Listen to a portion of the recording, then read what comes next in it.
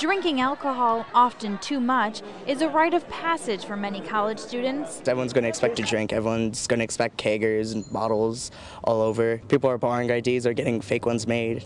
I mean, it happens. I mean, it's college. But those years of fake IDs leading up to your 21st birthday could be a thing of the past.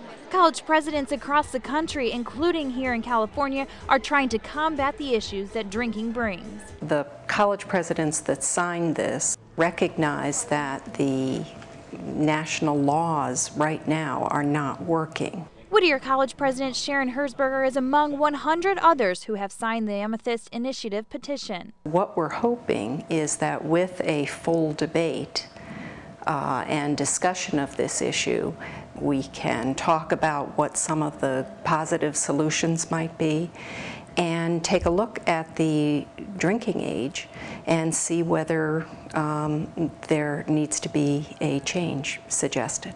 But not everyone believes that lowering the drinking age will reduce alcohol abuse. Mothers Against Drunk Driving says that the Amethyst Initiative is irresponsible. They add that an estimated 25,000 lives have been saved under the current law. Maintaining the legal drinking age at 21 is very, very important to MADD. At that age, people are a little more responsible.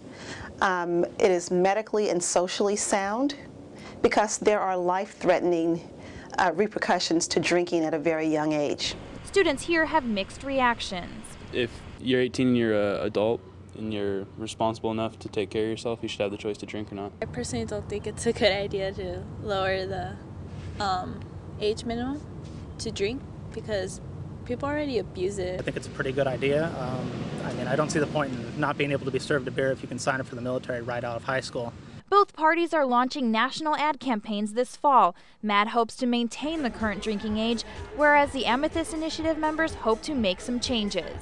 In Whittier, I'm Julie Cook, Daybreak OC.